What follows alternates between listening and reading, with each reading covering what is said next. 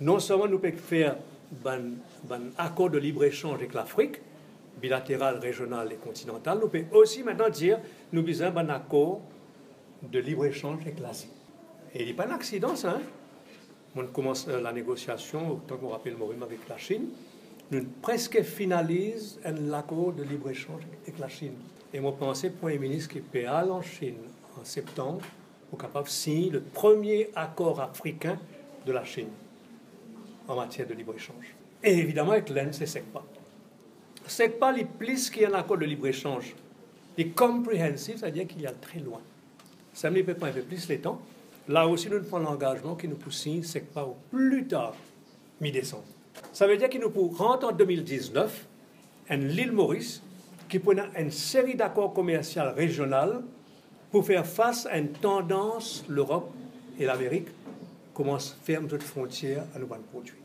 Un grand pays riche qui toujours donne nous conseils comment nous visons ouvrir nos importations, comment nous visons une plus libérale, comment nous visons ouvrir nous à tout ça qui est l'export vers nous. Subitement, c'est un pays développé commence à devenir maintenant protectionniste. Nous qui sommes protectionnistes longtemps. Ça veut dire qu'ils ont commencé à fermer la porte, excuse-moi le mot, ils commencé à fermer les frontières à l'importation de notre produit. Produit, service aussi. Je trouve ça inacceptable. Pas seulement inacceptable, mais dangereux. Ça nous coster aussi proche que ça et que la guerre que nous cause un langage qui appelle trade war, la guerre commerciale. Or, ce qui actuellement le monde développé peut faire, peut pousser vers une situation que nous risquons un full-fledged trade war et qui risquait plus loin à nous dans la guerre. Ça, on peut dénoncer fort comme ça.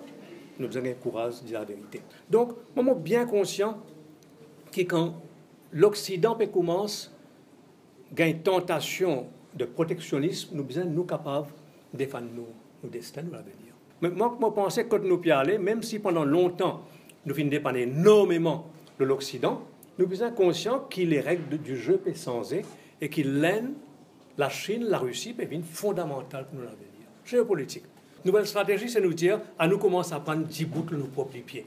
Nous sommes capables de connecter avec Nous avons le président Kenyatta il y a 4 mois, et nous sommes d'accord, donc, passe de 2 vols à 7 vols au Kenya depuis 2-3 semaines.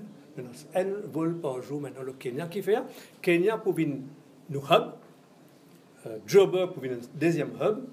Donc, nous besoin là à Nairobi pour le Joint Commission, nous mettre ça numéro 1, qui est Mauritius et Kenya Airways, ouvert le chemin au continent africain.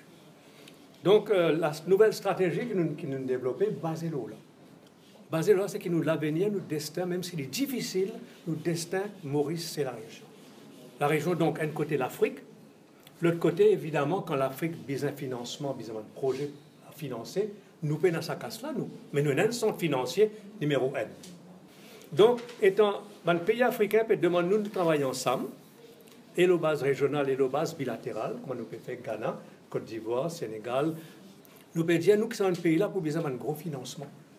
Nous avons besoin d'une zone économique spéciale qui demande un très gros financement.